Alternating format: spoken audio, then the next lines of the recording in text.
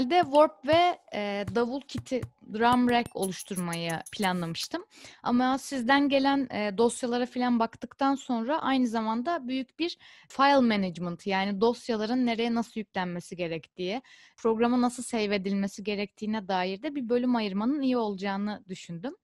Ama şey bayağı önemli bir şey bu arada. Hani böyle Programın zaten bir numaralı konusu bu. Yani dosya nereye kaydedildi, o dosyayı ben nereden çekeceğim, dosyanın adına ne verirsem bir daha bulmam rahat olur filan. Ee, yani bu sadece sizin başınıza gelen bir şey değil. Böyle birçok ses programı kullanan ya da Ableton gibi programlarda ya da başka programlarda kayıt yapan birçok müzisyenin başına gelebilecek e, sorunları yaşamışsınız. O yüzden sorunlar iyidir. Onların üstüne gideceğiz yani öyle diyeyim. E, onlarla biraz uğraşmaya başlayacağız. Şimdi Nereinki ile devam edeceğim. Öncelikle Bongo Warp Project'e basıyorum. Şimdi e, projeye tıkladığım zaman e, projeye dair bir info bak var bak burada var. E, proje dosyası var ALS formatında görüyorsunuz. Şimdi buna tıklayalım bakalım ne olacak. Bakın Bongo Bip'e böyle tıkladığımda bir şeyler sorunlu ekranda. Sample offline yazıyor. Media files are missing diye de bir uyarı vermiş bakın sol altta. Şimdi bunun sebebi aslında projenin kaydedilmesiyle alakalı, kaydedilme biçimiyle alakalı. Şimdi mesela herhangi bir proje açtınız ve burada bir eksik dosya var. Bunu nasıl yerine tekrar yerleştiririm? İlk önce bunu göreceğiz şimdi. Bunu şöyle küçültüyorum. Bongo bip yazan hani missing diye uyarı veren dosyanın üzerine çift tıkladığımda e, bu dosyayı zaten bulamadığını söylüyor. Peki ben bunu nasıl yerine yerleştirebilirim?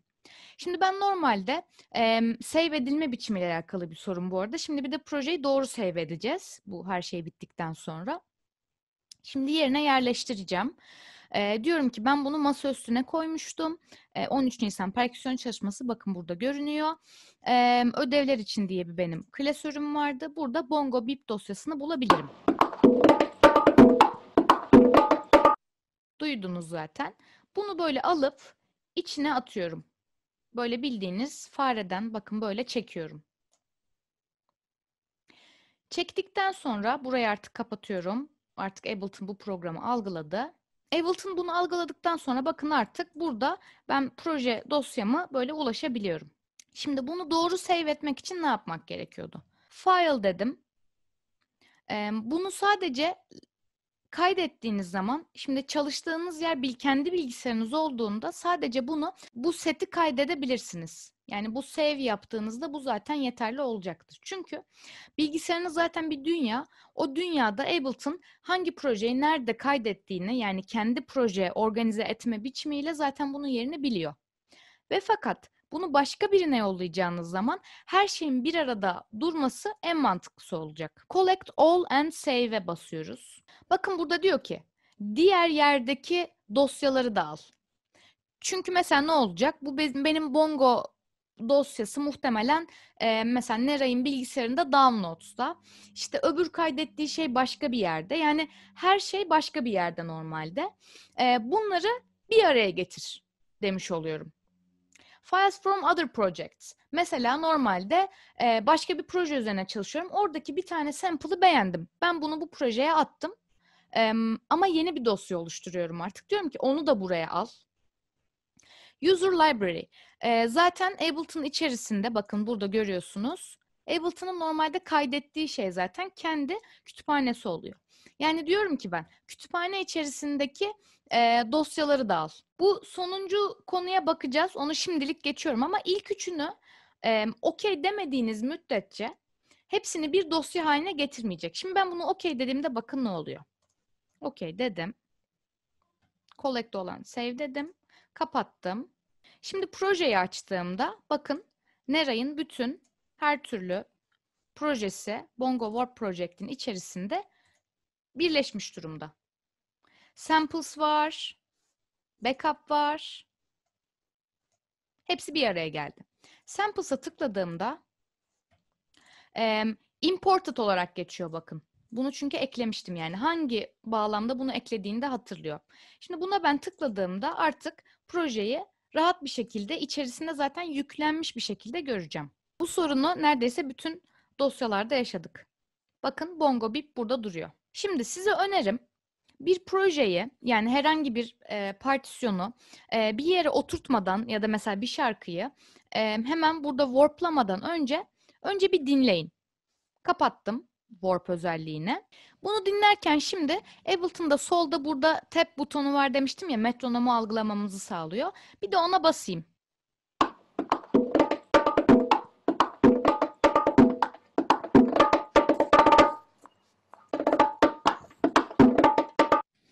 Durdurdum.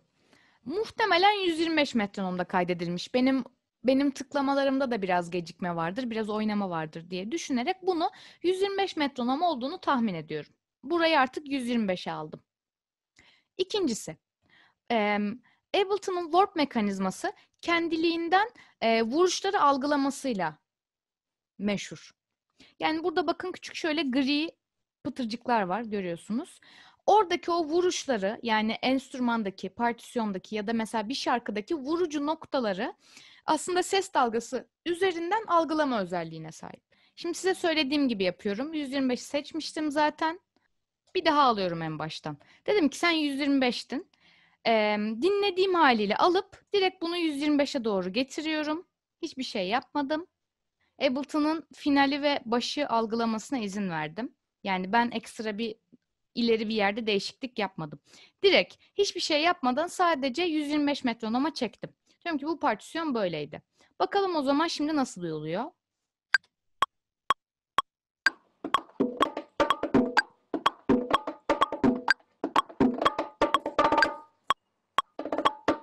Şimdi küçük detaylara bakacağız ama demeye çalıştığım şuydu.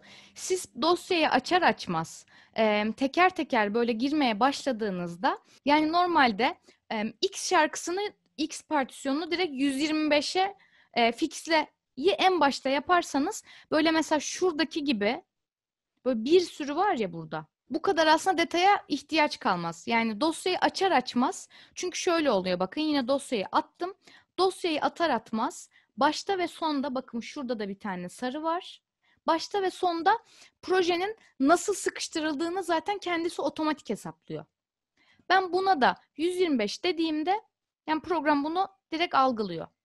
Ama peki detaylar yok mu? Tabii ki de var. Bunlara nasıl bakacağız? Şimdi ona buradan gelelim. Mesela ikinci vuruş değil mi? İkinci vuruşun tam punctual bir şekilde ikinci ölçünün başına bakın gelmesi gerekiyor.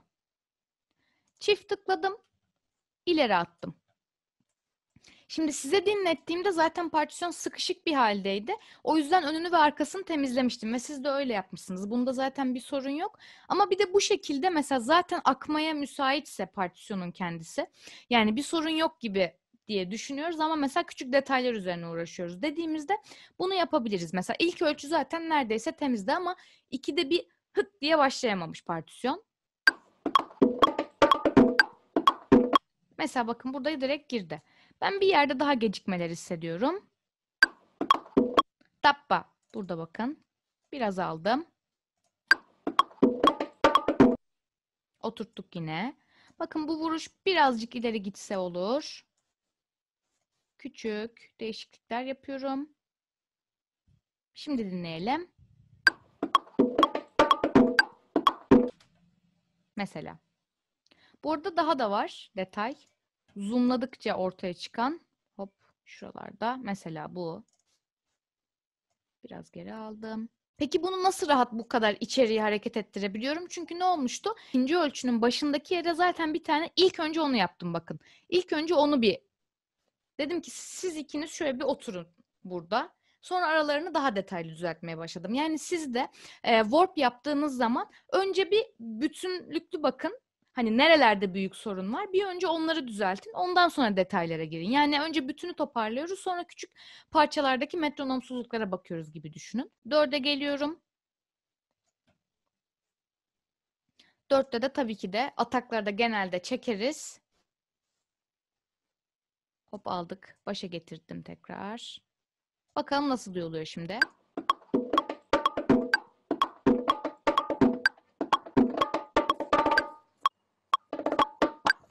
Mesela daha temiz değil mi?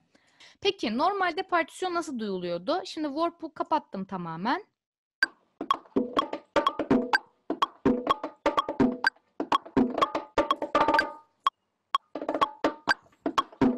Var bazı küçük detay girilmemiş yerler ama hani şey değil yani nasıl desem normalde de yani hiçbir zaman zaten bir makine gibi çalmadığımız için biraz bazı küçük detay hani kaydığımız ettiğimiz yerler olur. Aslında bu da öyle bir kayıt. Ama biz mesela daha da yapsak nasıl olurdu? Biraz bunun örneğini göstermek istedim. Şimdi kapatıyorum bunu. Şimdi partisyonun kendisini MIDI kaydedildiği için size konuştuğumuz üzere bakın nasıl duyuyorum.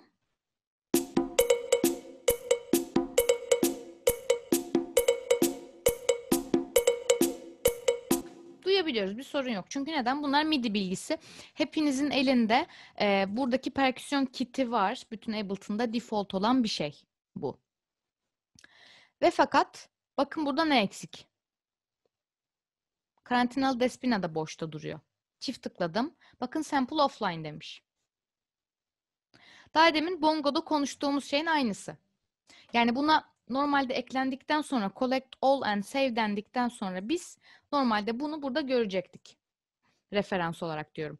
Bir yerde zaten samples dosyanız yoksa onu bir daha bir düşünün. Ben warplama ile alakalı bir soracaktım. Tabii. Şöyle alalım. Evet. Söyle bakalım warplama ile ilgili. Partisyonu analiz ettim. Mesela ilk önce birinci e, şeyin vuruş bir şeyine birinci 16 dördüncüsüne vuruş geliyor. İşte ikinci sayıda ilkine ve üçüncüsüne geliyor falan gibisinden böyle tek tek analiz edip aslında bayağı bütün vuruşları tek tek çıkarıp ondan sonra onların hepsini şeylere çekmiştim. Orada zaten otomatik şeyler olduğu için hani 16'lıklar gözüküyordu. Onlara çektim ama bayağı hani senin yaptığına göre çok daha uğraştırıcı ama hani bu kadar mükemmeli aramıyoruz diye mi bu kadar uğraşmıyoruz yoksa neden uğraşmıyoruz? Ne kadar yapmak lazım? Doğru bir soru sordun. Ee, şey mesela size metronomla beraber Warp mesela Altay'ın projesinde de öyle yani. Birçoğunuzun projesinde zaten mesela Neray da çok uğraşmış tek tek her bir vuruşu. Öyle yapabiliriz. Sadece şöyle bütün detayları önce mesela birinci ölçüden ikinci ölçü arasını temizledim. Sonra iki ve üçü temizledim. Sonra üç dördü temizledim gibi yaparsanız e, bir kere şu olmuş olacak. Mesela elimizde şöyle bir bir şey var. Böyle bir kare var. Şimdi önce diyorum ki bununla bunun arasındaki uzaklığı çözelim. Aslında Warp'ta bunu yapıyorum.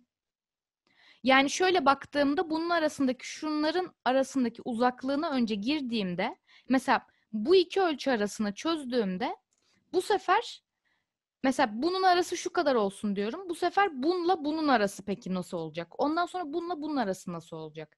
Program kendisi şunu yapıyor çünkü. Büyük resimde bunları yani büyük mesela ölçü aralarını çözdüğümde mesela bu ikisini fixledim. Sonra bunu fixledim, fixledim, fixledim olduğunda bazen kulak zaten şu ölçüdeki minik bazı detayları zaten kendiliğinden biraz daha sıkıştığı için çok takılmıyorsun bir taraftan da ona yarıyor.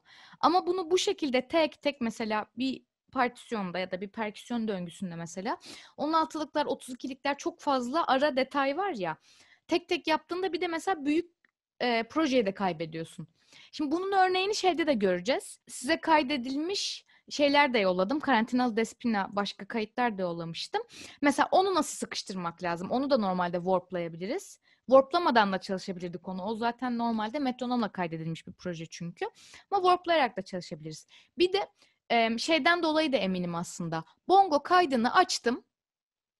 125 metronom olduğunu tespit ettim. 125 metronomu açtığımda ve asla warplamadığımda zaten partisyon kendiliğinden biraz o, yani bayağı oturuyor. Hani benim sadece küçük bazı detaylar yapmam lazım. Bir, bir partisyon gelir yani önü başı belli değil. Tabii ki de o zaman hani böyle tek tek her bir yeriyle uğraşmak gerekir. Şimdi e, Altay'ın Bongo projesiyle devam edeceğim. Ben şey soracağım. Tabii. Ee, Bu arada senin warplarken açayım. Şeyi düşündüm de e, bu hani küçük transitler çıkıyor aslında hani griden evet, turuncuya çevirelim. Ben şey seçeneği aradım hani onları e, yakın olduğu çizgiye taşı tarzı bir şey aradım. Otomatik bir şey var mı diye. Otomatik bir şey var mı? Çünkü diğer türlü cidden eğer her vuruşu e, oturtmaya çalışsam ölürüm aldı. diye düşündün. Hani Aha. az önce zaten aynen sonra bir şekilde oldu ama acaba böyle bir şey var mı? Hani en yakın olduğu şeye oturtmak için sonra bulamadım. Hı hı. Yok galiba. Çünkü.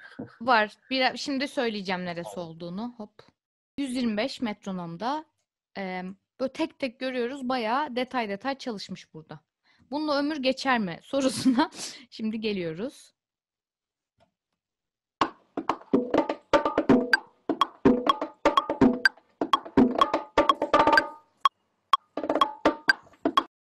Loop haline de getirilmiş zaten. İstesek mesela loop desem perküs- partisyon başa dönebilir.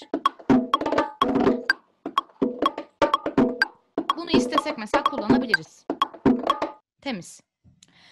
Şimdi dediğin gibi bakalım. Karantinalı Despina Taslak adlı projemize diyorum ki sen bunu işte bu kaçtaydı? Bu 120 idi diye hatırlıyorum değil mi? Biri bu olsun diyelim ki. Değil mi? Öyle başlıyor zaten.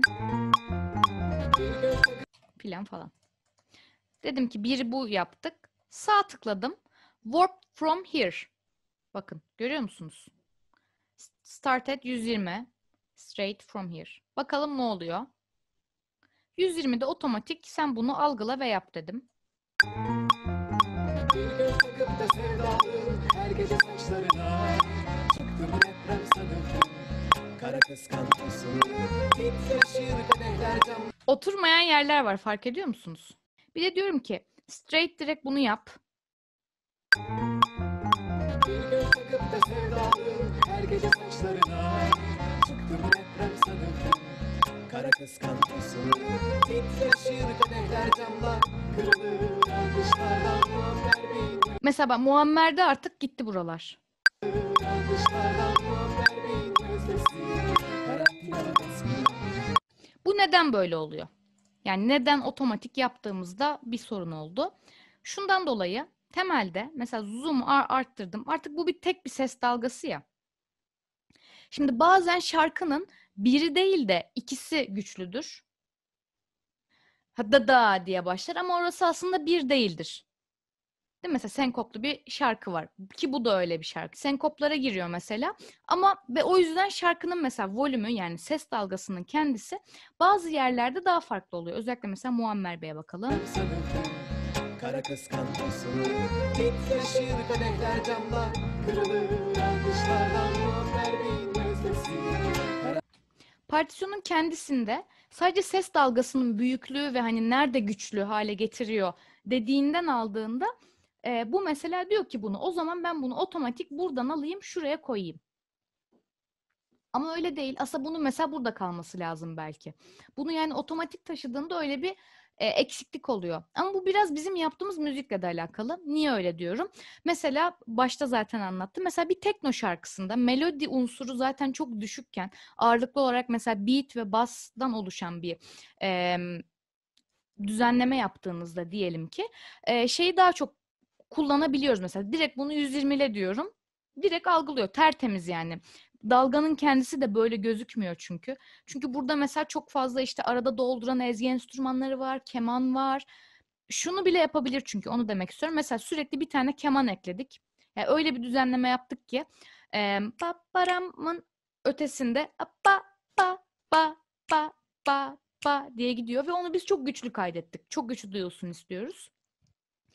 Bu sefer mesela bir orası aldığında ne olacak? Hani güçlü onu duyuyor mesela ses dalgasında. Orası artık orada. Aslında ikide olması gereken şey. O az aslında değiştiriyor durumu gibi düşünebilirsiniz.